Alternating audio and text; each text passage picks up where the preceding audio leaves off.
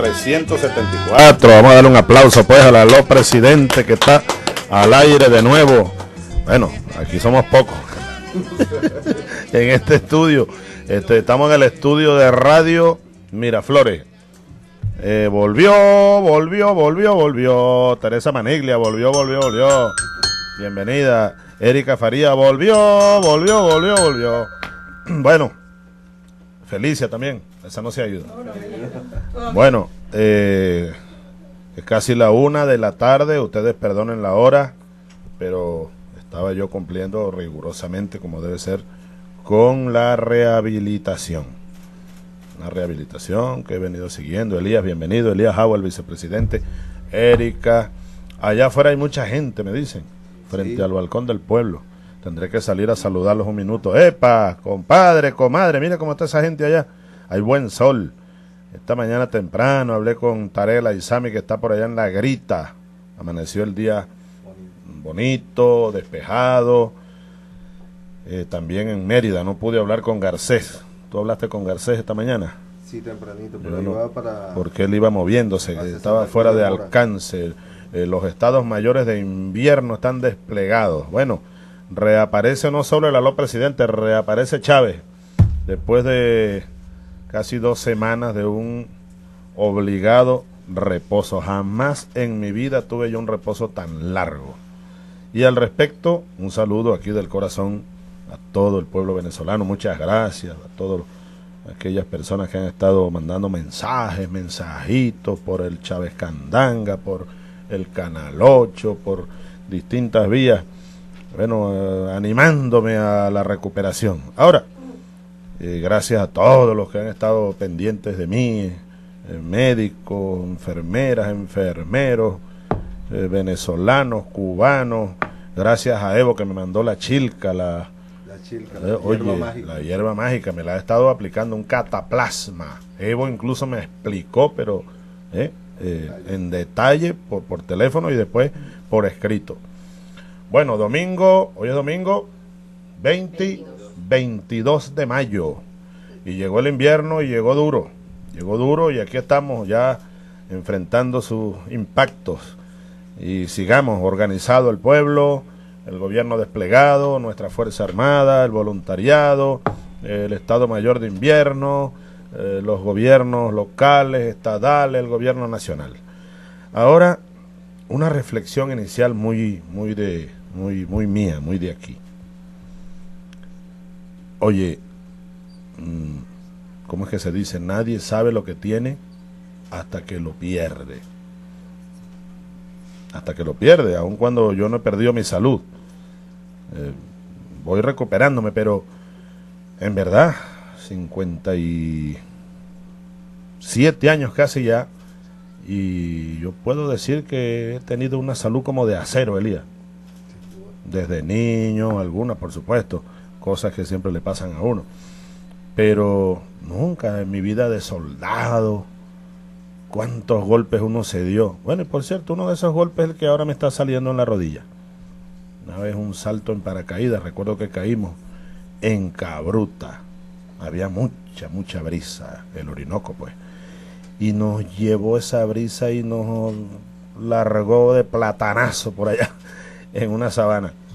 Y yo salí muy lesionado de esa, de, esa, de esa caída, porque hice caída lateral izquierda. Me puse el viento, recuerdo que saltamos sobre el río y había tanta brisa que bueno, nos arrastró, nos arrastró. Íbamos y caímos sobre asfalto.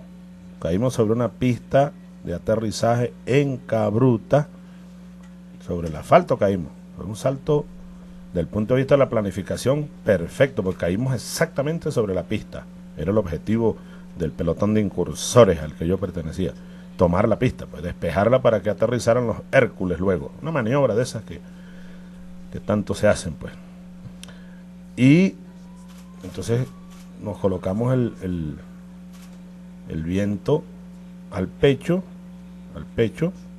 Es terrible que uno tenga el viento a la espalda, porque al caer se va de boca buscando, buscando el viento, buscando el viento y buscando caer hacia la izquierda, porque veníamos desplazándonos precisamente hacia, hacia la izquierda. Y entonces la rodilla, recuerdo que el golpe fue muy duro en la rodilla. Pero bueno, un muchacho, era un muchacho de, de qué, de menos de 30 años. Pero ahí, ahí está ese golpe viejo y tal. Y bueno, luego el derrame. Pero hoy entonces vienen las cosas de lo cotidiano, Elías. Fíjate, yo anoche, por ejemplo, dormí mal, muy mal. ¿Por qué? Porque bueno, el dolor. Uno se queda dormido y empieza a mover, como no es la cosa, la pierna. y despierta cada rato. Entonces hay que ir al baño, que si hacer pipí, hacer otra cosa, ¿verdad? A bañarse, eh, a secarse, a, vestirse, a comer, que si a sentarse o a caminar. Antier amanecí con unas ganas de salir a caminar. Me dijo el médico, no, estaba llovinando, después salió el sol. Salí a caminar un poco, pero ¿qué va? No daba la rodilla. No da todavía. No da, Teresita. No da todavía. Entonces, por eso digo, cuiden la salud. Cuidemos la salud, que nadie sabe lo que tiene hasta que lo pierde. Mira, que a mí me da una tristeza por dentro muy grande cuando, pero al mismo tiempo una alegría de verlos ustedes desplegados, Elías por allá por Petare, eh, por Mérida, por Táchira, Tarela y Sami, los estados mayores de invierno, recorriendo eh, bueno, los barrios, eh, las carreteras, resolviendo junto al pueblo las dificultades. El pueblo las dificultades y cuánto no quisiera yo estar por allá, pues, ¿no? Pero por eso la reflexión y la recomendación, cuidemos la salud, cuidemos la salud. Y en segundo lugar, qué cosa tan maravillosa poder contar con un sistema de salud. Pues es la otra cara de la moneda. Es la otra cara de la moneda poder contar con, eh, como cuenta, no el presidente, como un privilegiado, ¿no? El pueblo venezolano. A mí me han hecho exámenes y tal, bueno, un CDI cercano. Y luego aquí en Miraflores, bueno, hay una, por supuesto, un, ¿cómo se llama? Un, pequeño equipamiento mínimo necesario y una pequeña sala de rehabilitación que se, se montó aquí de hace, de hace ya varios años, pues y donde se atiende a mucha gente. Bueno, entonces qué maravilla poder contar con un sistema ¿eh? público de salud y atención y personal capacitado, médicos, especialistas, enfermeras, medicamentos eh, al alcance de la mano. Y eso lo hemos venido logrando en la revolución. De forma tal que yo quería comenzar, el día con esas dos reflexiones muy de de bueno de mi de mis experiencias no personales de estas últimas dos semanas. Y en verdad lamento mucho haber tenido esta esta lesión que me ha llevado a suspender cosas de mucha importancia como el viaje a Brasil conversé con Dilma. Eh, tenemos pendiente fijar una fecha nueva el viaje por Ecuador por Cuba eh, Fidel no se quedó esperándonos también Dilma Correa bueno y luego pero como, fíjate lo que decía Fidel una vez, cuando yo fui a visitarlo después que del, grave evento que él tuvo. Fidel tuvo un evento muy grave. Y entonces, ese es un ejemplo para todos nosotros. Fidel me dijo, después de unos minutos de conversa, me dijo, Chávez, me hacía falta esta enfermedad. Yo le digo, ¿cómo que te hacía falta? Me hacía falta, porque entonces ahora tengo más tiempo de reflexionar, de ver las cosas de lejos, de darme cuenta de cosas. Bueno, yo digo casi que lo mismo. Me hacía falta esta enfermedad. Mira lo que apareció, el oráculo del guerrero.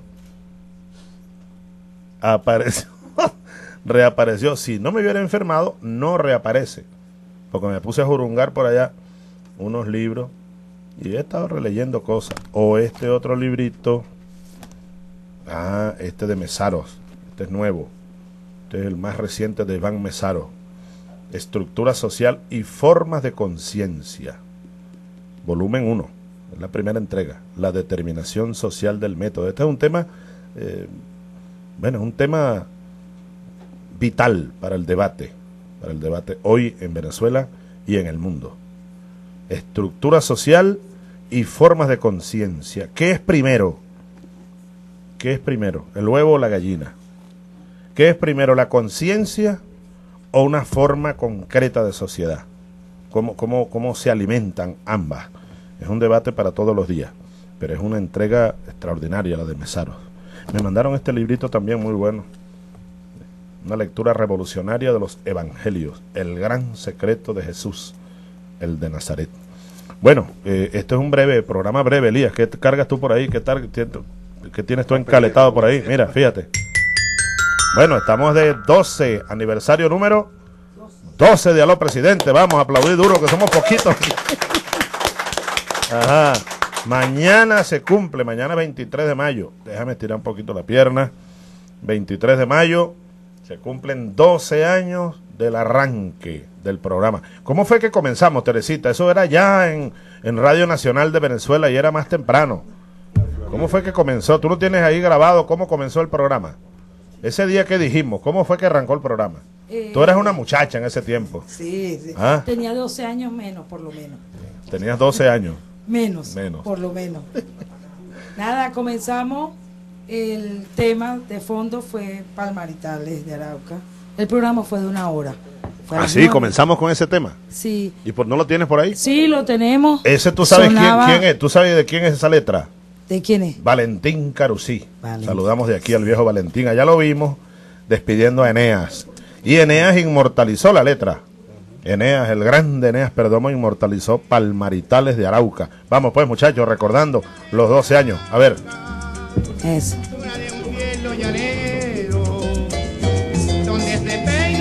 Ahí está. ¿Eh?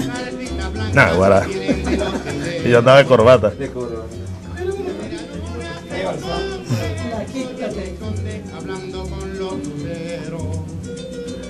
Sí. Freddy Balsán.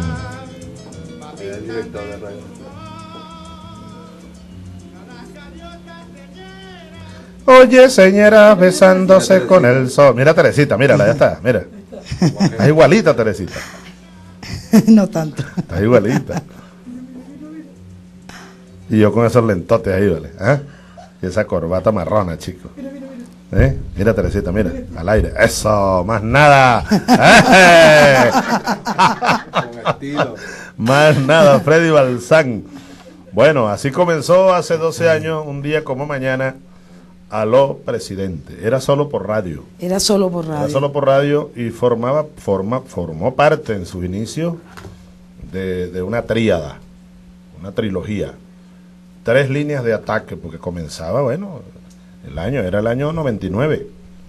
Pleno proceso constituyente, la revolución democrática, rumbo al socialismo. Eh, creo, eh, en ese entonces ideamos el correo del presidente de frente con el presidente en televisión, en televisión, en Canal 8 todos los jueves en la noche, y a lo presidente. Bueno, aquellos dos cumplieron con una etapa. Este quedó. ¿Hasta cuándo será lo presidente, Teresito? Hasta la vida. Hasta la victoria Hasta siempre. La vida. Hasta la vida. Hasta la victoria siempre. Bueno, quiero recordar a todas las personas que por aquí han pasado, tantos trabajadores, trabajadoras, los muchachos, las cámaras, productores, Felicia que se ha ido, ha vuelto, Andrés ha ido, todos van y vuelven, todos van y vuelven, Teresita, eh, muchos que ya no están con nosotros físicamente, como aquella muchacha Aide, Aide, González. González, que se nos fue en la tragedia de Barrega, aquel año terrible, 99, aquella tragedia terrible. Bueno, todo un recuerdo, un agradecimiento y aquí está Aló Presidente, saliendo ahora con la marimba otra vez. Elías, ¿qué nos dice? Entrevistado de hoy, Elías Jagua Milano. No, presidente, bueno, primero contento de, verlo eh, y que el país lo vea porque a pesar del gran esfuerzo que hacemos nosotros, todo su equipo, también como reflexión, siempre en estos momentos, eh, la importancia del líder, ¿no? La importancia del líder y de la dirección de la revolución y la conciencia que tiene nuestro pueblo y tenemos quienes trabajamos con usted de que usted tiene que continuar al frente del gobierno como lo como está, pues no, no ha dejado de estarlo, pero siempre esta, eh, una etapa de reposo hace reflexionar y reafirmar la importancia que para un proyecto de transformación revolucionaria tiene el, el papel que juega el líder, ¿no? Y eso el pueblo lo siente, tiene mucha conciencia de eso y es una de las fortalezas de la revolución bolivariana. De todos modos, Elías, vale la pena reflexionar sobre ese punto. un minuto. Por allá arriba conseguí otro libro, no lo traje porque bueno, me traje solo esto, de esos que estoy revisando, un, libros viejos. Un libro que yo leí por primera vez, luego lo he venido releyendo por partes. Fíjate, en un campamento antiguerrillero. Y yo andaba con aquella idea loca de irme para la guerrilla, en verdad.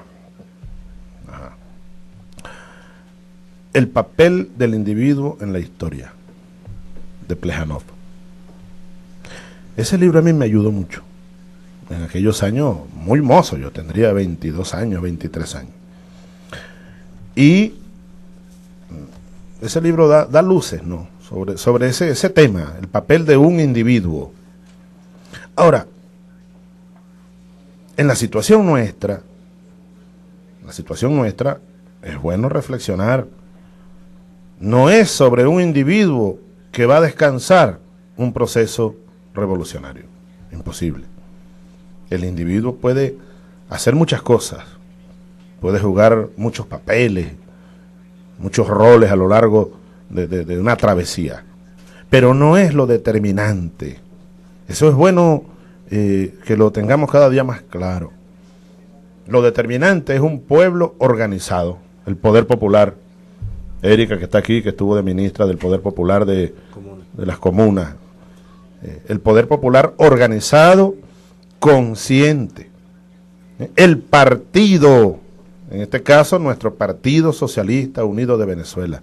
Bien organizado, bien consciente, como una gran vanguardia, como un partido de cuadros o de masas que genere cuadros. Bueno, he allí los elementos que asegurarán la perpetuidad del proceso revolucionario venezolano. No somos los hombres individuales. bueno, estamos sujetos a las contingencias propias de la vida, de la vida humana. Bueno, pero aquí estamos, estamos, voy recuperándome. Eh, la rodilla ya queda muy, muy poca inflamación, sin embargo el dolor permanece allí.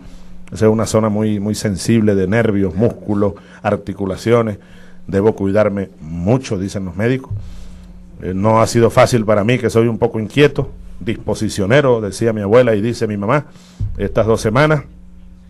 Pero mm, lo que quiero decirles es que todavía, em, todavía no estoy en condiciones de salir a la batalla diaria en las calles, en las jornadas intensas a las que, eh, bueno, nos hemos acostumbrado en estos 12 años. En eso hay que ser conscientes. Este aló, por ejemplo, no va a ser muy largo, va a ser breve, va a ser breve, vamos a hacer alguna, algunos anuncios, algún pase, ¿no? Algún contacto, contacto, algún contacto. Esta primera parte la hemos hecho por radio y televisión, que tenemos aquí un pase vía satélite. Claro, el Estado Mayor de Invierno, allá en La Grita, la bella ciudad de La Grita, está el ministro Tarek El Aizami. La operación Vida Los Andes 2011. ¿Está listo el pase? Vamos pues, Tarek. Adelante.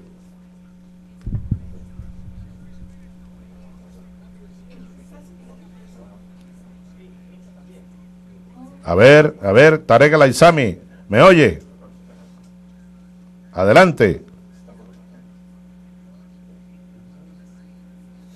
Parece que hay problemas con el pase, ¿no? Con el audio, hay problemas con el audio.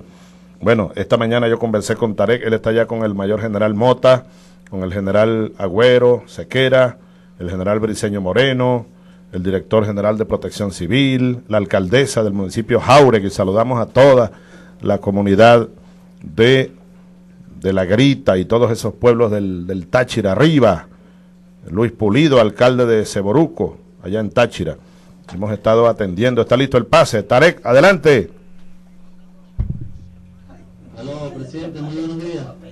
Buenas tardes ya, perdón. Los saludamos desde aquí, desde La Grita, Estado Táchira. El mayor general Luis Mota Domínguez, el general de división Agüero Sequera, el general Marcelo Moreno, todos los compañeros de la Fuerza Armada Nacional que ha estado al frente de estas tareas humanitarias. También tenemos a la compatriota alcaldesa Betty Camargo. Estamos aquí en la grita, presidente, como usted bien lo sabe. Eh, hoy hemos iniciado desde muy temprano las operaciones aéreas, sin embargo a esta hora le debo informar, comandante, que hemos suspendido las operaciones aéreas. Y aquí tiene este sillito cuando quiera, para, para que se le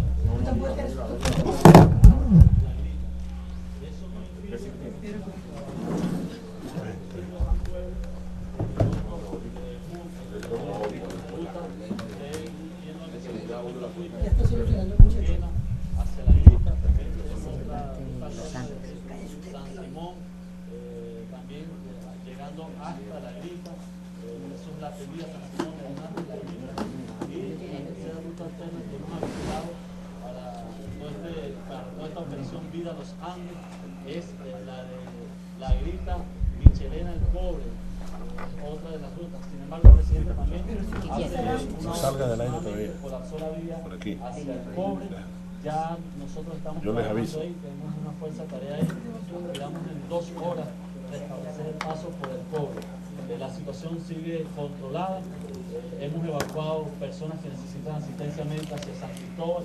el gobierno bolivariano ha estado desplegado durante estas últimas horas de manera continua descanso alguno.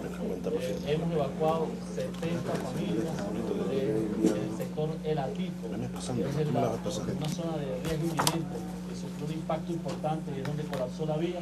Ya están unos refugios dignos que hemos habilitado para su atención integral. También estamos evacuando durante el día de hoy y mañana 30 familias aquí en el distrito Jauregui, que es la grita, hacia la grita. En trabajando sin descanso, presidente. Usted al frente de esta operación eh, Vida Los Andes y hemos, bueno, hemos eh, recibido, presidente, también permito hacer esta reflexión, hemos recibido un sinnúmero de bendiciones, de saludos para usted, de agradecimiento. Eh, bueno, es increíble, presidente, el afecto de estos pueblos por la revolución, por usted, presidente, por el socialismo, pueblos de campesinos, pueblos que han sufrido. Eh, tenemos eh, un, un, importante daño en las vías de comunicación rural. Más de 500 unidades de producción agrícola han sufrido pérdidas de cosecha. Sin embargo, le hemos manifestado nuestro compromiso, el compromiso del gobierno bolivariano de seguir acompañándoles para superar esta uh, dificultad y seguramente seguir sembrando la patria socialista. Presidente, adelante si tiene alguna pregunta. No, gracias Tarek por ese, por ese parte, por ese informe. El contacto es breve, luego seguimos conversando nosotros más tarde por vía telefónica o por radio. Eh, les deseamos éxito, como siempre se los he transmitido que Dios me los acompañe, máxima seguridad, sobre todo eh, por, eh, en, el puente aéreo, los helicópteros, máxima seguridad para nuestro pueblo, eh, despliegue, lo están haciendo muy bien, estamos muy orgullosos de ustedes, un abrazo a todos esos pueblos del Táchira, ese pueblo tachirense, el pueblo merideño, el pueblo trujillano, el pueblo mirandino, el pueblo falconiano, el pueblo azuliano, sobre todo en el sur del lago, sabe, eh, sabe perfectamente que cuenta con un gobierno responsable que da la cara, que da la cara y que da el alma por la vida de nuestro pueblo. Que Dios me los bendiga, Tarek. Felicitaciones a todos. Qué orgulloso uno se siente, ¿no? De todo ese pueblo organizado y de la capacidad. Fíjate, gracias, despedimos el pase, por, por, porque vamos a ser breve. Fíjate, eh, la capacidad operativa, yo, yo recuerdo y comparo con patriotas que me oyen, seguimos transmitiendo por el Canal 8, ¿verdad? Y por Radio Nacional de Venezuela, ¿qué más? Radio del Sur, Vive Televisión, YBKE Mundial, ¿qué más?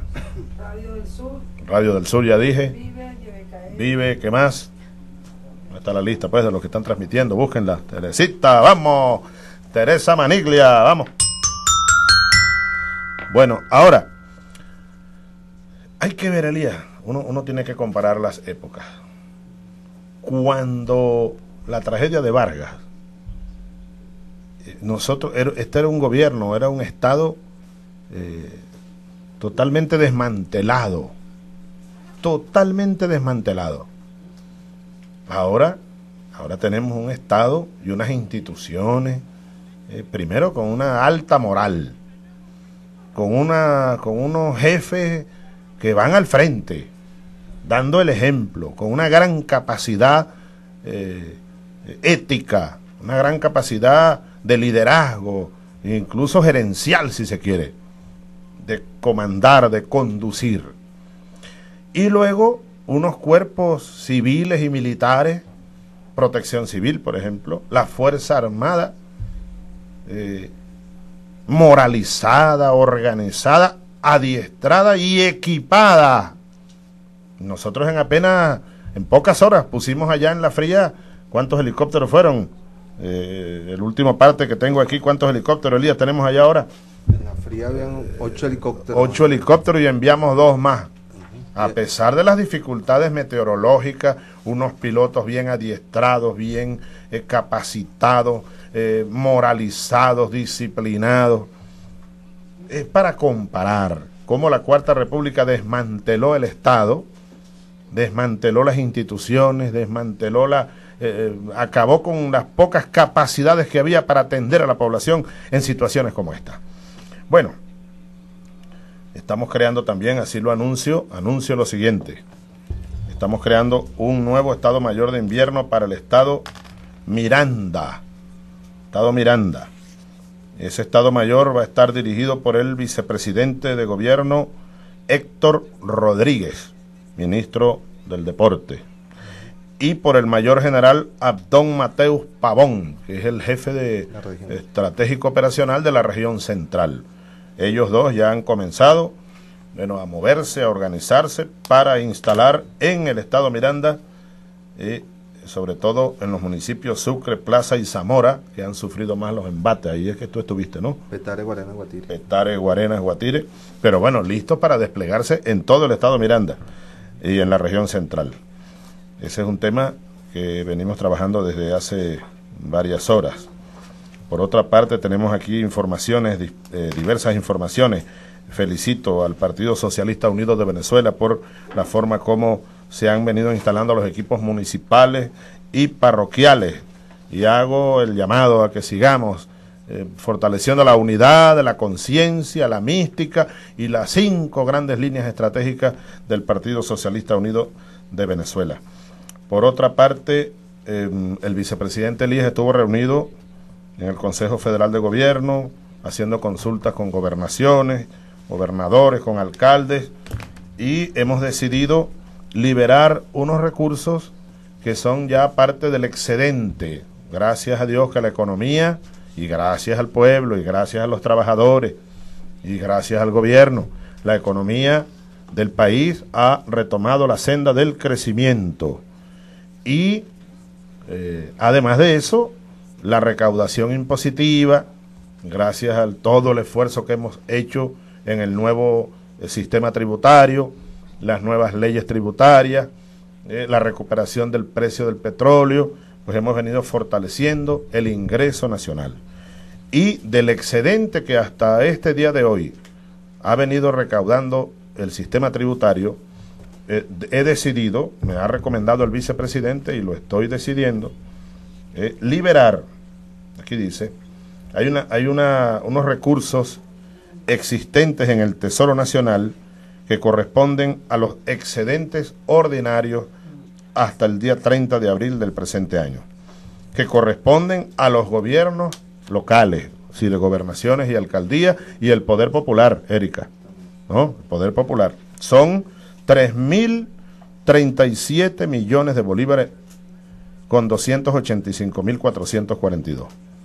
3.037 millones 285.442 millones de bolívares fuertes disponibles y certificados en tesorería.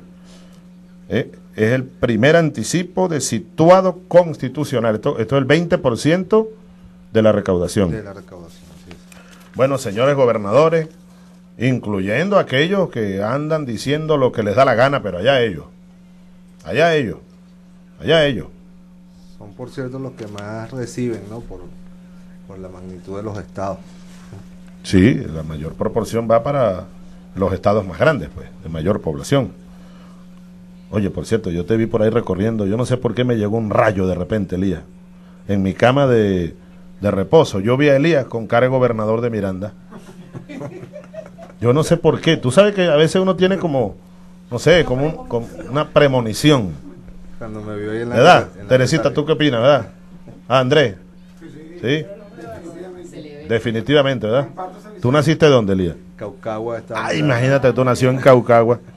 Yo no sé por qué de repente vi a Elías ahí recorriendo las calles de Miranda, Italia, allá atendiendo a la gente en Petare, Guarena. Dije, oye, tiene cara de gobernador de Miranda, Elías Agua. No sé, cosas de uno, Elías. Cosas de uno. ¿Ah? Si no ese parece igualito, como dice. bueno, ahora, gracias, Elías.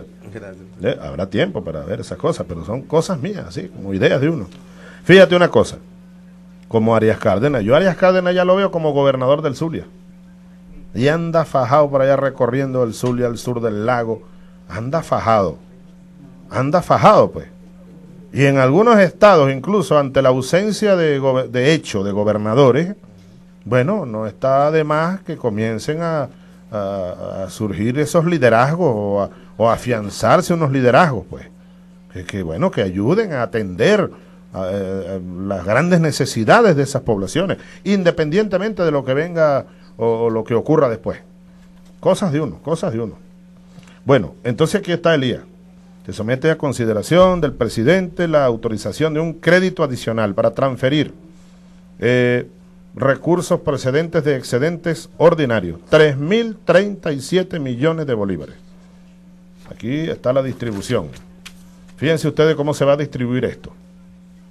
Al distrito capital, es decir, a la, a la gobernación del distrito capital, le corresponden ciento, voy a, voy a redondear, 189 millones. Al estado Amazonas, 49 millones. Esto es bueno que lo sepa el pueblo, hay que publicarlo por los medios regionales, porque hay gobernadores que dicen que no, que es que el, gobierno no les da recursos, que Chávez este, le quita los recursos. Nosotros, eh, eso es absolutamente falso. 49 millones al estado Amazonas, 153.6 millones al estado Anzoátegui, 75.3 millones al estado Apure, 166 millones al estado Aragua, 97,5 millones al estado Barinas, 158,5 millones al estado Bolívar, 210 millones al estado Carabobo, 61.4 millones al estado Cojedes, 50 millones al estado del Tamacuro, 108 millones al estado Falcón, 95.8 millones al estado Guárico, 177,5 millones al estado Lara, 103 millones al estado Mérida, 258 millones al estado Miranda, 105 millones al estado Monagas, 72 millones al estado Nueva Esparta, 105 millones al estado Portuguesa, 108 millones al estado Sucre, 129 millones al estado Táchira, 93 millones al estado Trujillo, 84 millones al estado Yaracuy, 319 millones al estado Zulia y 63 millones al estado Vargas. En total, 3.037 millones.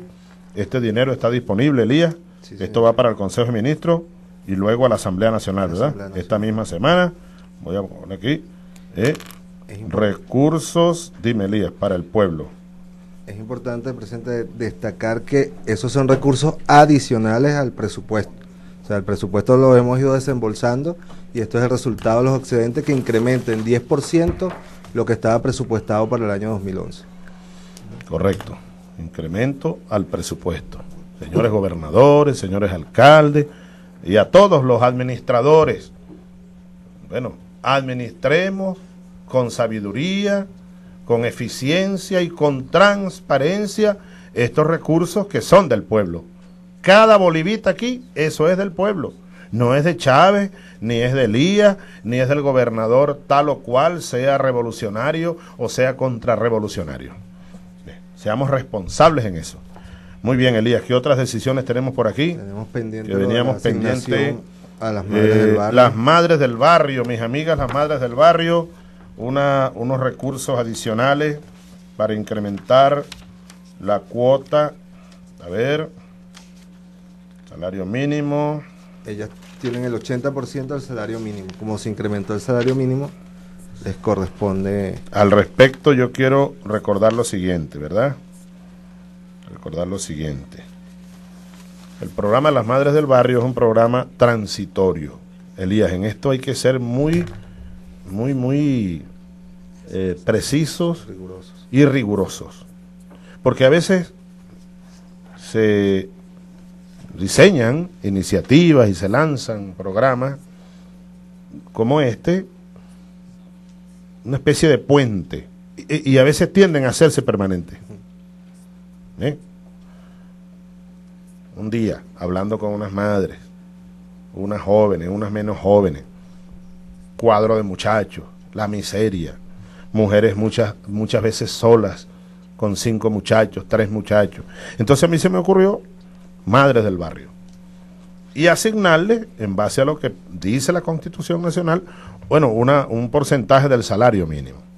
Pero eso, repito, señora ministra Nancy, que me debe estar oyendo, debe ser transitorio.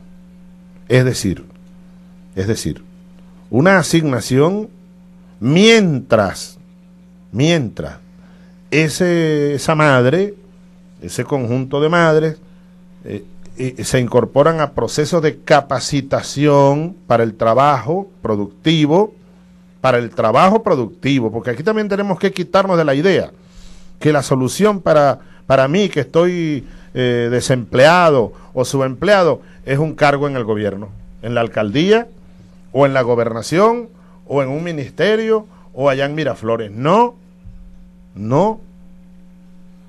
¿Cuántas nóminas no hay por allí que están abultadas? ¿Cuántas? Eh, tenemos que orientar eh, la capacitación, el esfuerzo hacia el trabajo productivo. Y este, y este es un esfuerzo en esa dirección. Capacitación y luego, bueno, un proyecto, unos proyectos, una asignación de capital semilla para que un grupo de madres, por ejemplo, eh, instalen una panadería en un barrio, instalen, qué sé yo, una peluquería, instalen, qué sé yo, una textilera, eh, una, fábrica en un barrio, en su propia casa, etcétera. Cuando las madres, cuando ese grupo de madres o esa madre del barrio, que está en el programa Madre del Barrio, recibió capacitación, y luego un crédito y luego comienza a producir, ella tiene que salir de la, de, la, de la nómina, pues, de madre del barrio. Y, y, luego se incorporará otra. Pero tiene que llegar el día en que ese programa desaparezca. Elías. Elías yo voy a probar esto, pero eh, insisto en esto porque esto es, esto es la esencia de este programa. ¿Ve?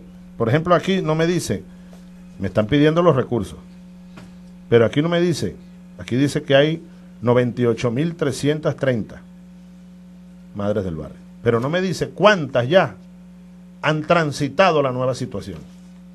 Ese informe eh, yo lo, necesito. A ver cómo va el proceso. No vaya a ser que la tendencia sea a que se instale de manera definitiva.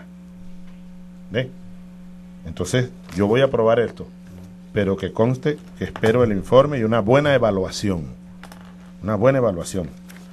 ¿Algún comentario, Elías? Sí, presidente. Al igual que Casa de Alimentación, estos son programas de transición para una inserción productiva y, social integral de los seres humanos. La ministra Nancy ha estado trabajando y ella tiene un informe para una incorporación de un número importante de, madres a proyectos productivos. Eh, ella lo tiene porque sí me lo presentó, pero no no lo recuerdo en este momento la cifra exacta, de manera que se lo hago llegar esta misma tarde. Correcto, correcto. sí está orientado en lo que usted ha insistido. Bien, muy bien. Entonces vamos a probar el escenario 2, eh, eh, en razón del 80% del salario mínimo, 153 millones de bolívares, aprobado para las madres del barrio con esas consideraciones. Vamos a colocarle aquí Jordani, no tengo los libritos de los recursos aquí. Eh, no tengo el librito de los recursos. Me hace falta, sin embargo, rectificación. Ahí nos queda todavía rectificación presupuestaria. Tú hablaste, por ejemplo, del tema de las casas de alimentación, ¿ves? ese es otro programa transitorio. Así es. Transitorio. Que poco a poco tiene que ir, eh, bueno, transformándose en otro, en otro, en otro, en otro, otra estructura. Siempre orientada a la justicia social. ¿Qué más, Elías? ¿Qué más tenemos por allí? Tenemos- ¿Qué hora es? Una y media. Coloquen las cámaras allá afuera. Hay un pase para allá, no hay nadie allá afuera. Vamos a ver, por favor, vamos a darle a esto. Mientras tanto, cha, ta, ta, ta, ta. Aló, presidente, número. Número 374. Eso no es un abuso, Izarro, un programa que dure 12 años. ¿Tú tienes, tú tienes, a- hay algún precedente de un programa que dure 12 años? ¿Ah? ¿Ah? Elías, No recuerdo. 12 años este programa. Que valga la pena, no.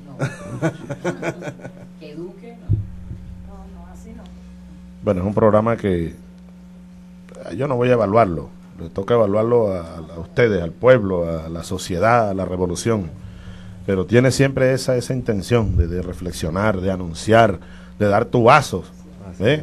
de hacer, hacer eh, bueno, eh, elucubraciones como esa de, de Elías y su cara como gobernador de Miranda, su, su perfil, ya se le ve el perfil, el caminado y todo, ¿no? Bueno, a ver, eh, Eduardo Silvera, o Silveira, ¿no es? Silvera, Silvera, Silva era.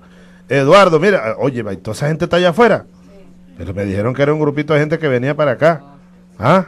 ¿Y quieren que yo vaya a caminar allá? Sí, señor. No, yo no voy a poder ir a caminar allá, a ver si me, a ver si me caigo ahí, chico. ¿Ah? Epa, compadre, ¿me oyes allá, Eduardo? Señor presidente, al balcón del pueblo motivado a través de las redes sociales, se realizó esta convocatoria y el grito que están realizando actualmente, señor presidente, es que lo quieren ver, que vienen a acompañarlo, que vienen a pedir por su salud. Vamos a conversar sobre todo con la juventud venezolana. Hay mucha juventud, señor presidente, que se encuentra acá el día de hoy. Amigos, buenas, ¿cómo está? El día de hoy, ¿qué los motiva a estar acá en el balcón del pueblo? Aquí al, presidente, todos juntos con el presidente y Sajú, Artaba Aragua aquí con usted, comandante. Corte con amigo, por favor, el día de hoy usted está acá en el balcón del pueblo. ¿Qué lo motiva? ¿Qué? Nos motiva a venir a, a ver a nuestro comandante del Estado de Aragua por la lucha que usted ha venido emprendiendo por nosotros, por la juventud, por todo el pueblo de Venezuela. Aragua siempre presente y consecuente, comandante. ¡Pa'lante!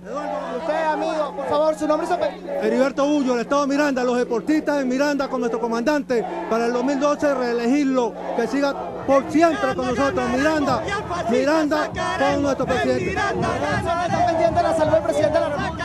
Bueno, el presidente que cuenta deportistas que es, que cuenta con todos los deportistas de nuestro Estado Miranda. Miranda, al fascista lo vamos a sacar de Miranda. Muchísimas gracias. Por favor, usted, señorita, el día de hoy ustedes todos están acá muy pendientes de la salud del presidente de la República y muy pendientes de lo que dice el presidente. Bueno, comandante, aquí está el pueblo de Cuba también apoyándolo desde el estado Miranda. Eh, para adelante, comandante Chávez. Aquí estamos restiados con usted y hasta el 2000 siempre. Que Dios lo bendiga, comandante. Usted, señora, por favor. Parroquia Carayaca, Estado Vargas, mi comandante, consecuente con usted aquí. Ayude a nuestra parroquia, comandante, que se mejore. Bien, palabras entonces, señor presidente, de los ciudadanos que se encuentran acá. Amigo, por favor, su deseo para el presidente de la República, su opinión. Bueno, mi comandante presidente, le habla Julio César Godoy Andrade, representando la aldea universitaria Gran Colombia fines de semana. Estamos aquí apoyándolo, mi comandante presidente. Estamos aquí dándole este apoyo revolucionario, porque aquí estamos la juventud, mi comandante, que de verdad lo quiere y lo ama. Este pueblo, mi comandante, salió a la calle, salió a fortalecer este gran proceso y esta gran revolución, mi comandante. Patria, Bien, vamos ahora a conversar con otra de las jóvenes que se encuentra acá, por favor. ¿Qué te motiva a ti como juventud venezolana estar el día de hoy acá en el balcón del pueblo? Bueno, principalmente le doy un saludo revolucionario a mi comandante, a los ministros y a todos los del Partido Juventud Bolivariana de Venezuela, a mi papá y a toda mi familia. Bueno, comandante, yo lo único que le quiero decir, como dijo Simón Rodríguez, como dijo, como dijo Simón Rodríguez, Samuel Roiza cuando viajó a España, la este, la, la Este, todo está compuesto en modificaciones favorables para el pueblo, mi comandante. La, la ignorancia nos oprime y el conocimiento nos libera. Un saludo revolucionario, lo queremos, comandante. Bien, palabras de una de las ciudadanas, señor presidente, que se encuentra acá en el balcón del pueblo. Vamos a conversar con otro de estos representantes de la juventud venezolana que se encuentra acá. Amigo, el día de hoy, ¿qué te motiva estar como juventud venezolana la por el balcón del pueblo? Bueno, mi, mi nombre es José Gómez, soy el representante del Estado Zulia, aquí haciendo presente de Francisco Miranda. Un saludo revolucionario, comandante, y que se mejore. Bien, presidente, los deseos de los ciudadanos que se encuentran acá el día de hoy en el Balcón del Pueblo, presidente, no sé, vamos a devolver el paso con usted para, bueno, más de lo que tienen que tener con este programa de los presidentes sobre todo deseándole que se mejore, señor presidente. Muchas gracias, Eduardo, y a toda esa gente. Oye, qué animados están ahí. Mira, hay tanto ánimo que a lo mejor salgo yo trotando por ahí. ¿Ah? A lo mejor salgo trotando. ¿Te acuerdas cuando hicimos el remolino? El remolino loco aquí. Nicolás, un remolino, hicimos una vez un remolino aquí y corrimos por todo esto. Cuando yo era muchacho, que corría por todo eso. ¿Eh? ¿Ah? No, uno, uno se va, uno tiene que aceptar que se va poniendo viejo. Mira, enfócame a Andrés, por favor. Enfócame a Andrés Izarra. Ajá. Ajá. Está Izarra. Él tiene cara de muchacho, pero, pero si tú lo pones más arriba, ajá. uno tiene que aceptar. Un día me dijo Pérez Arcay, mi general, ¿cómo está mi general? Cuídese mucho, mi general. Me dijo Hugo, hay que aceptar que uno se va poniendo viejo. Eso y es malo ser viejo. Pero bueno, ¿y cuál es el complejo de la edad? No, yo- Después de 55 años uno va pasando para viejo. No, tú no. Bueno. Está bien, no discutamos eso. Pero ya uno tiene que aceptar. Mire, el otro día yo estaba jugando softball y metí un batazo. Llegué a tercera renqueando porque uno cree que tiene todavía 21 años. Cuando yo era tribilín y era, me decían corre camino por allá. Yo corría duro. Y entonces crucé por segunda para tercera y ¡lam! sentí un tirón ahí. En el músculo, el izquierdo, por cierto, de la pierna izquierda. La pierna izquierda. Bueno, oye, qué ánimo hay allá afuera. Ya, yo no sé cómo los voy a saludar, pero esperen que yo me asomo, aunque sea por una ventanita, y le saco la mano, ¿saben? Un saludo a todos y gracias por estar ahí. Ahí están los muchachos de la banda, hasta la banda vino, mira, la banda de guerra. Qué alegría. Tú sabes que una cosa uno ve, Elías, por todos lados, mucha juventud. Mucha juventud. Juventud, divino tesoro. Juventud, juventud venezolana que ha despertado y sigue despertando y que no se deje manipular la juventud venezolana. A veces da dolor ver a algunos, algunos grupitos de jóvenes que parecen viejos, defendiendo lo viejo, defendiendo, defendiendo, bueno, lo indefendible, ¿no? Pero allá ellos. Pero la gran juventud venezolana, esa eh, que viene de lejos, la de José Félix Rivas, la de Josefa Camejo, que eran unos muchachos, la del joven Bolívar, ¿eh? la de ellos, la del jovencito Sucre, casi niño. ¿eh? Esa juventud está viva hoy más que nunca. La sociedad patriótica. La sociedad patriótica, la juventud eterna. Ahí está, mírenlo. Qué maravilla. Ahora que Dios, digo yo, cristiano como soy, nos ayude a consolidar la paz en Venezuela. Porque veamos cómo está el mundo. Veamos cómo está el mundo. Esa juventud que ha resucitado, esa juventud venezolana que ha resucitado, merece un destino, merece una patria en paz y en desarrollo. Y esa es una de nuestras más grandes responsabilidades.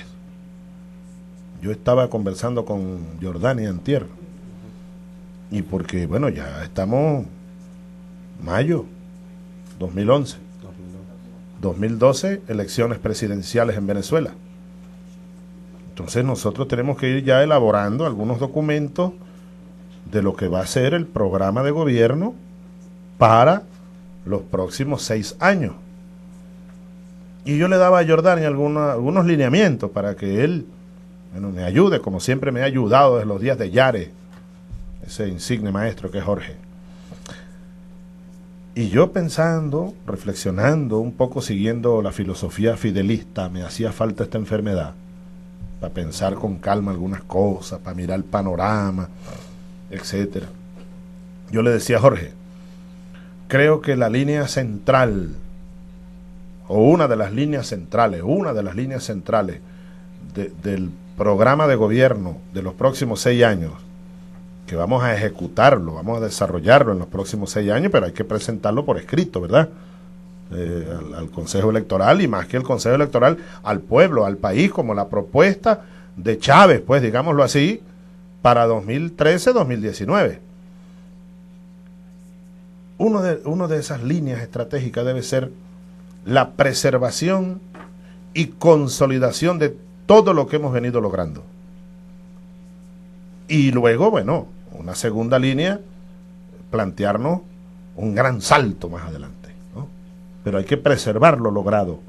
Y una de las cosas que hemos venido nosotros eh, logrando es una democracia verdadera y una paz.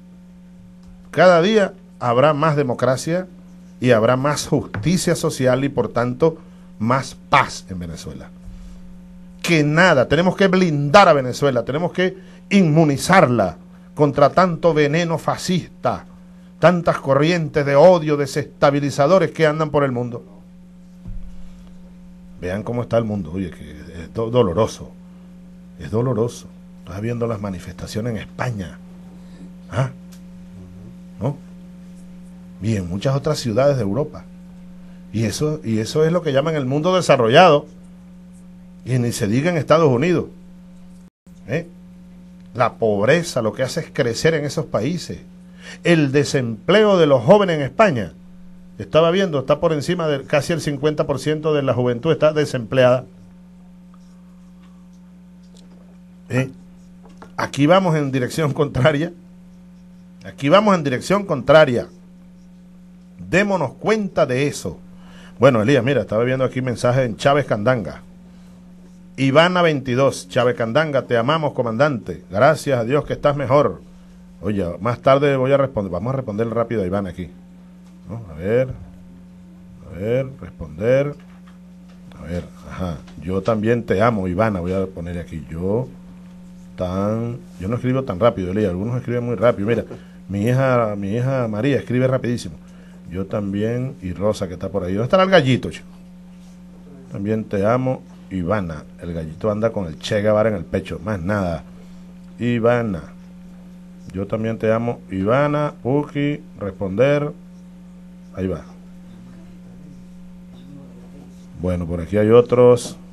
Aquí dice, alguien dice, mira este mensajito, Izarra. Cuando la lógica me dice que debo dejar de seguir a Chávez Candanga, siempre sale un enfermo antichavista que me convence de lo contrario. Vean ustedes que los enfermos antichavistas también cumplen su papel. ¿Eh? Por aquí dice Marides o Marides, te amo, Chávez Candanga. También te amo, Mari. Aquí dice Eida Salcedo, felicidades en estos 12 años de aló presidente, bravo. La marimba. Ajá, aquí dice Hola, Candanga, volvió, volvió, volvió, la comandanta 1. Esa siempre escribe, la comandanta. Más tarde les voy a responder algunos. Ministro Garcés en línea telefónica. Vamos en un minuto a recibir el parte allá del Comando de Invierno del Estado Mérida. Adelante, Garcés. Sí, muy buenas tardes, comandante. Recibo aquí un saludo de la población de Tobar, acá en el Estado Mérida, ¿no? Estamos acá haciendo un recorrido desde el día de ayer, en la cual instalamos acá el Estado Mayor, tal como usted me instruyó. Está conmigo el gobernador del Estado, Díaz Orellana, también está el general Barrio, con quien hemos hecho todas las labores logísticas, hemos estado reunidos pues constantemente, ¿no?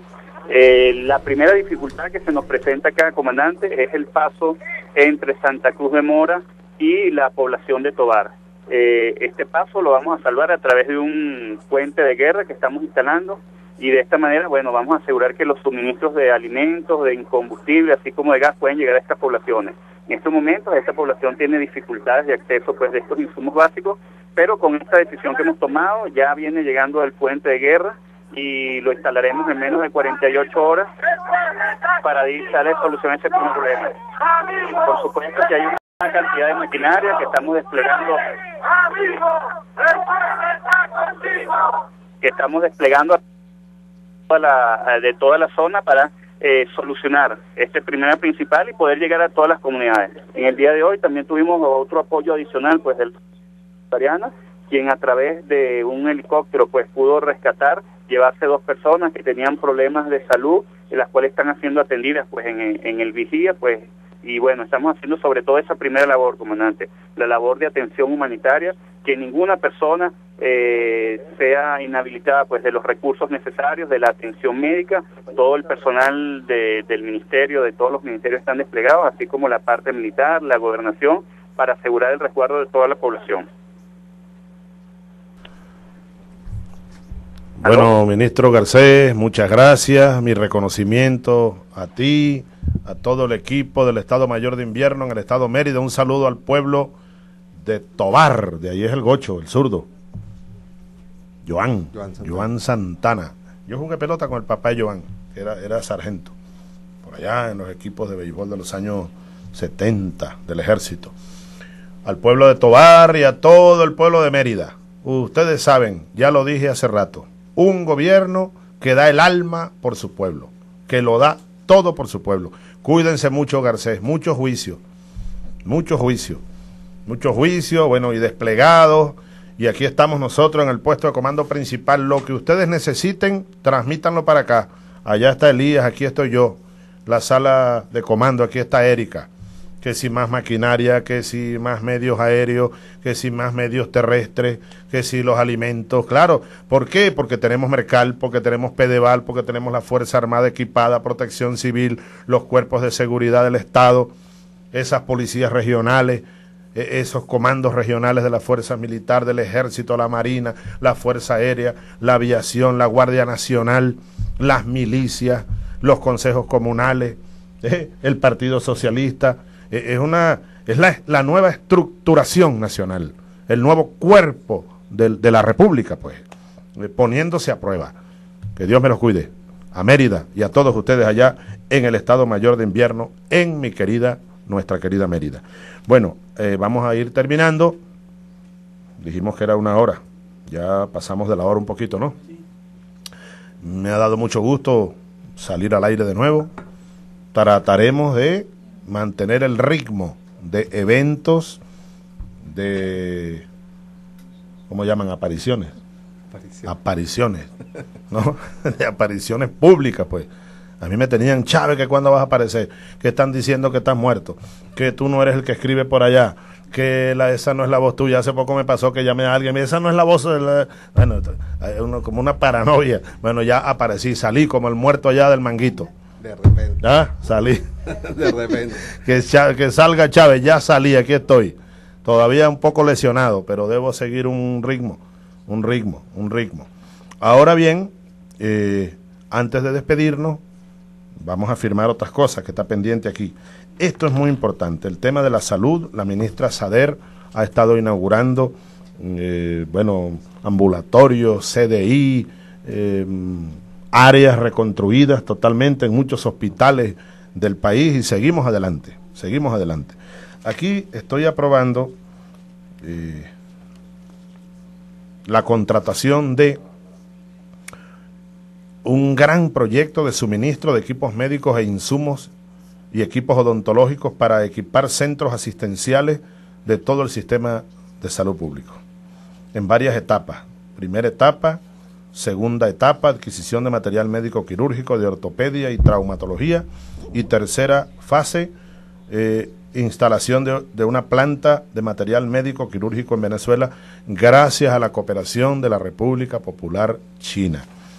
Este es un crédito chino dentro del gran crédito que llega a 863,9 millones de dólares para cubrir las tres entregas, o las tres etapas, pues.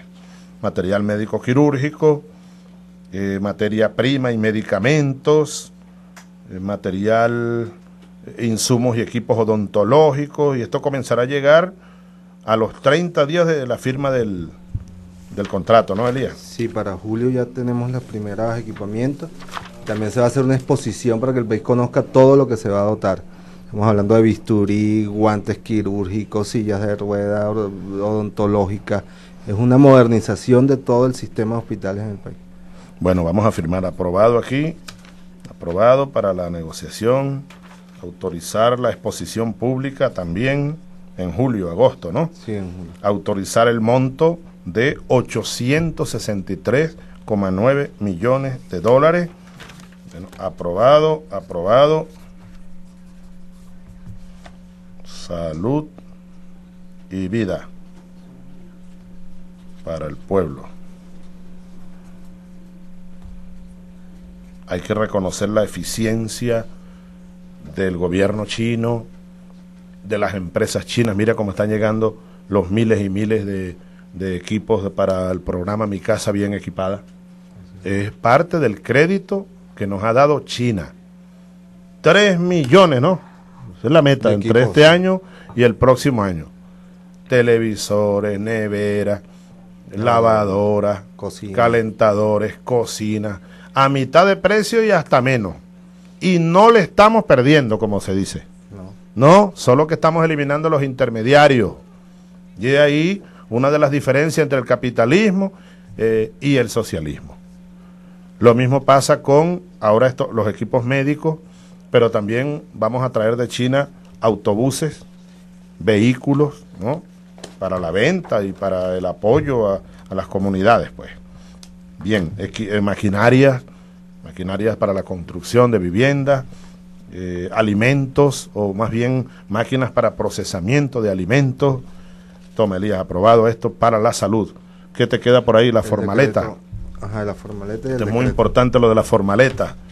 He estado viendo por el Canal 8 que están explicando muy bien eh, las formaletas y ahora queremos montar aquí una fábrica de formaletas de aluminio. ¿En cuánto es que se hace un edificio con esa formaleta? Elías, explícanos rápido. Sí, la superestructura, lo que llaman el edificio, pues por fuera de concreto, 23 días. Y después unos 60 días Tres días. Se levanta el edificio. Y después viene, bueno, la carpintería, ¿no? Adentro, los detalles. Eh, en 90 días se tiene listo el edificio. Bueno, la misión, la gran misión Vivienda Venezuela. Eh, un reconocimiento a todos. Hoy están inscribiéndose. Sí, sí. Eh, en la Plaza Bolívar, en las plazas Bolívar, en distintos puntos, gracias al pueblo y crean, bueno, yo veo por allí algunos opinadores de la contrarrevolución. Pierden su tiempo. Pierden su tiempo. Ah, hay algunos que han dicho, "Ah, no conocen a nuestro pueblo. Dicen, ahora el presidente está contra la pared. Porque ahora todos los que se están registrando, que ya van casi un millón de familias, ¿eh? ahora le van a exigir con el papelito ese, vayan a Miraflores a exigirle que ya les entregue la vivienda. Ah, pierden su tiempo. Y se van a llevar sorpresas además. La gran misión Vivienda Venezuela arrancó como tenía que arrancar y ya estamos entregando las primeras viviendas. Y estamos además recuperando terreno. Miren, ¿dónde está lo que me trajo por ahí Rosa? Aquí está.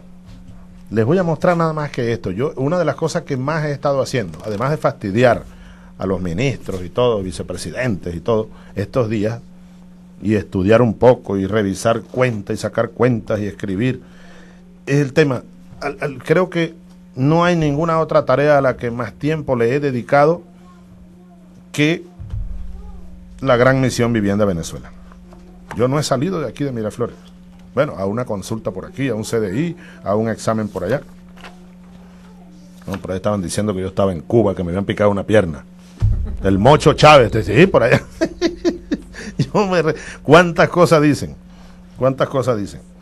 Ajá, mira, por ejemplo, estamos, eh, ah, hemos, hemos comenzado la aceleración en la identificación, en la búsqueda, identificación, rescate de los mejores terrenos. Desde pequeños espacios de, de, de- de 50 por 50, media hectárea, donde, donde pudieran caber, eh, qué sé yo, 50 viviendas, hasta grandes espacios como la meseta de Caucagua, Elías. ¿Cuántas hectáreas es que hay en la meseta? Esa es una planicie de Caucagua. Allá donde, donde, tú me, donde tú me orientaste y ya tenemos los estudios. Hemos ya delimitado con la empresa China City 1.500 hectáreas para una ciudad de unas 20.000 viviendas, con toda una ciudad, con el proyecto productivo y todo el sistema social, salud, educación, etcétera. En, el mes de julio nos entregan ya el proyecto la empresa City de la ciudad. Fíjate lo siguiente. Esto, ah, la cámara la tengo de este lado. Voy a mostrarles nada más que esto. Pero todos estos mapas los tengo yo ya pegados grandotes. Tengo un poco de paredes llenas de mapas y todo. A ver si por aquí vemos bien. Ajá, sí. Creo que el micrófono está. Subimos un poquito el micrófono. Ayúdame ahí, Andrés, por favor. algo con la patria. ¿Qué? ¿Qué pasó? ¿Pero cómo voy a hablar yo? ¿Ah? ¿Por la frente hablo yo? Voy a hablar por la frente. ¿Ah? ¿Ah? No, pero es que no importa, no, no, no.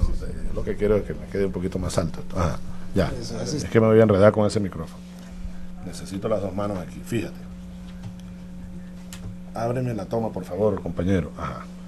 Miren, aquí tenemos Caracas. Yo ando empeñado, pero es empeñado en peinar, y ya estamos peinando todo este eje del ferrocarril de Caracas, este es el ferrocarril que ya está funcionando hasta Cuba. Cuba, déjame ubicarme bien. Aquí está el Charayave y aquí está Cuba. ¿Eh? Bueno, a lo largo del ferrocarril estamos tomando terrenos, a lo largo del eje del ferrocarril. Ahora, estamos ya listos para comenzar este nuevo tramo para unir la línea del ferrocarril Caracas-Cuba con este otro ferrocarril que viene de Puerto Cabello por Maracay, que va a llegar hasta Tejería y Paracotos. Y desde Paracotos se va a unir con Charayave. Mire, aquí hay unos valles, porque este, este, por aquí viene el río Tuy, por aquí abajo por Tácata. Aquí hay unos valles bellísimos. Esta población es muy bella, Tácata. Le hemos pasado por helicóptero. ¿eh? Eh, tenemos imágenes satelitales de distintas escalas. ¿Por qué? Aquí hay un valle muy bonito donde cabe una ciudad, Elías, en las inmediaciones de Tácata. Una ciudad agroindustrial, además, pues son tierras muy buenas, fresca, montaña, pie de monte. Cuba tiene muchos terrenos para seguir creciendo. Charayave lo mismo, hacia acá, hacia Paracoto, por donde va a pasar el ferrocarril, y hacia, hacia abajo, hacia Ocumare. Hacia Ocumare.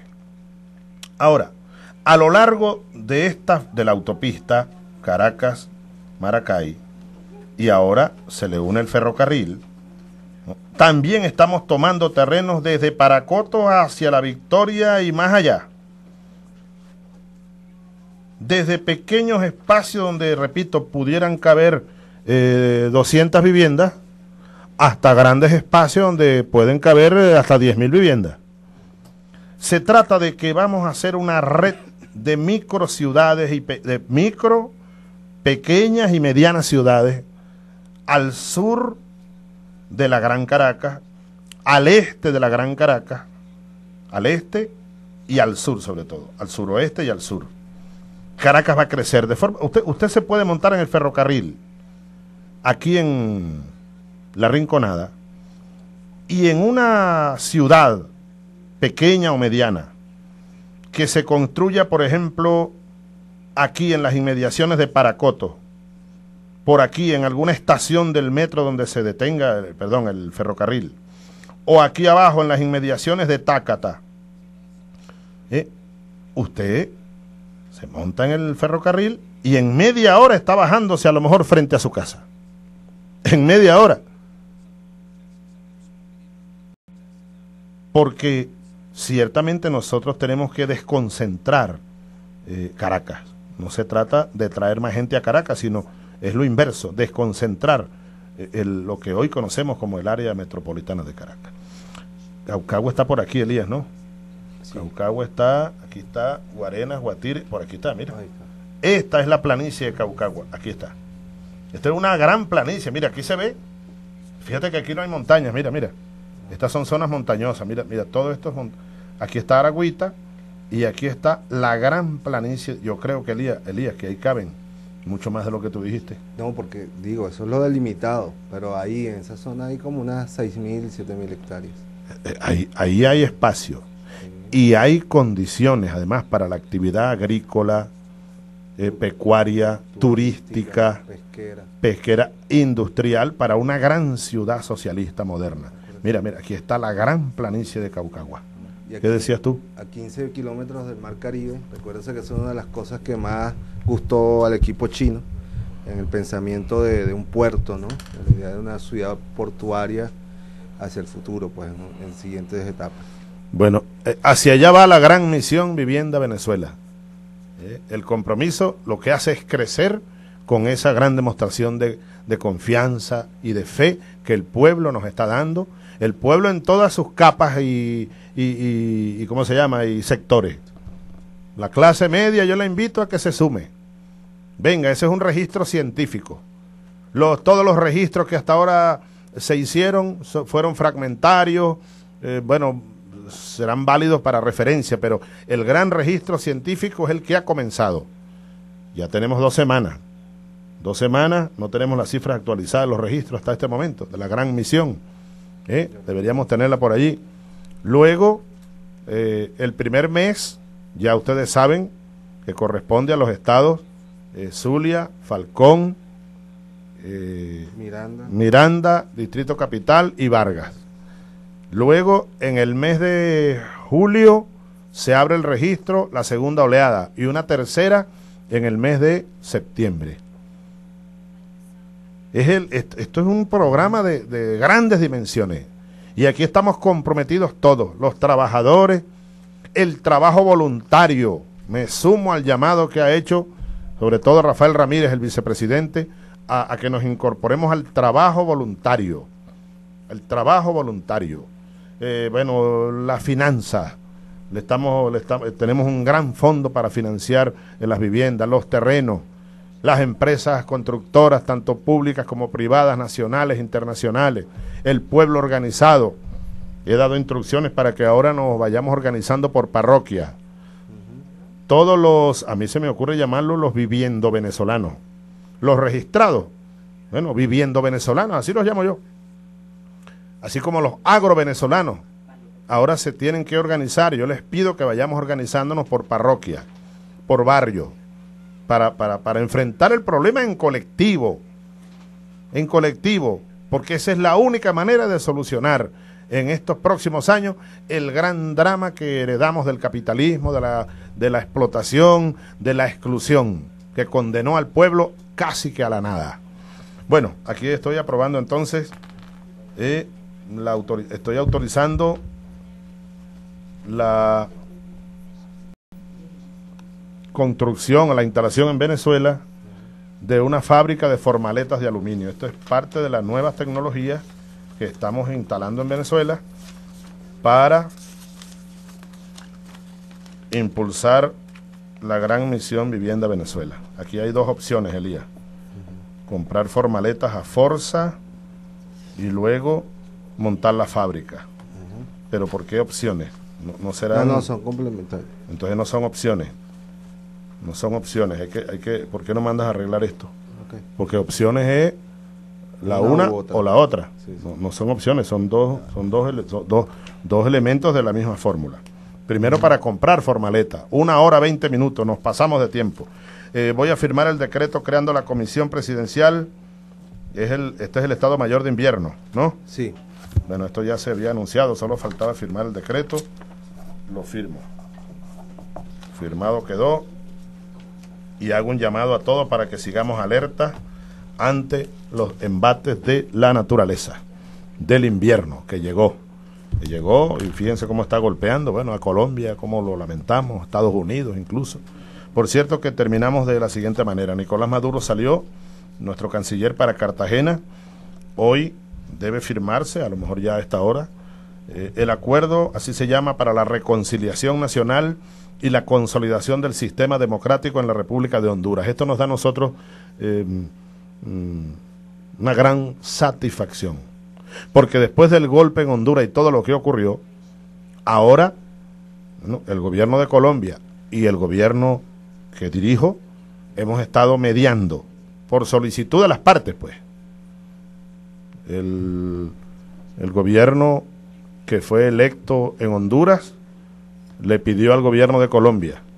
El presidente Zelaya, que estuvo aquí hasta hoy, se fue con Nicolás para Cartagena, nos ha pedido, nos pidió también que mediáramos. Hemos estado mediando y hay un documento que se va a firmar, ya lo conocerá la opinión pública, ya se está conociendo, público ya, donde hay cuatro puntos, cuatro puntos que el presidente Zelaya solicitó a través de nosotros y están recogidos allí.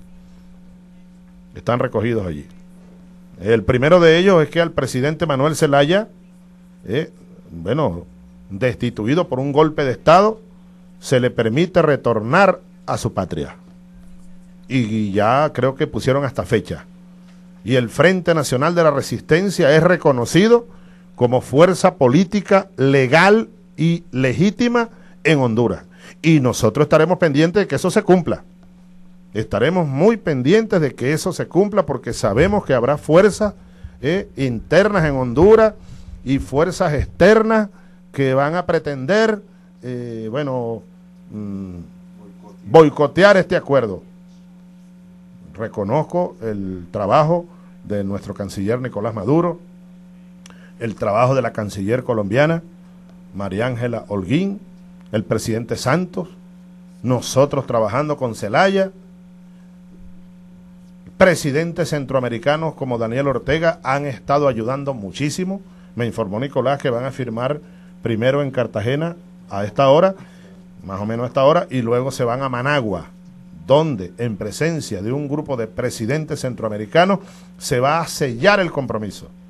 Todos estaremos pendientes de que se cumpla, que haya vuelva y no sea perseguido, su familia y sus seguidores, el Frente Nacional de la Resistencia, que Celaya y ese Frente Nacional de la Resistencia, bueno, actúen en la vida democrática como fuerza democrática con su bandera. Celaya, así me lo dijo hace poco, va a seguir luchando por lograr una asamblea constituyente en Honduras.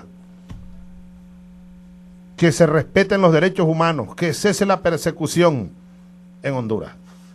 De esa manera Honduras, bueno, abre los portones a la democracia nos sentimos nosotros complacidos de mm, poder ayudar en esta dirección. Bueno, Elías, tenemos que despedirnos a lo presidente, eh, un poco breve, por las circunstancias ya conocidas.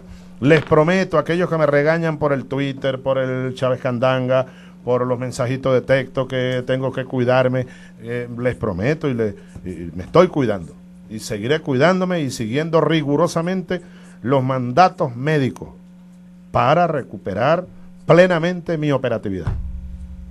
Pero yo creo que a partir de hoy ya estaré en condiciones de salir de cuando en cuando. Que salga Chávez, pues les voy a salir. En cualquier momento les salgo. Y en cualquier lugar. Nos despedimos a los presidentes. Vámonos para allá afuera. Chao. Muchas gracias. ahí. Otra vez. Los militares de Arauca.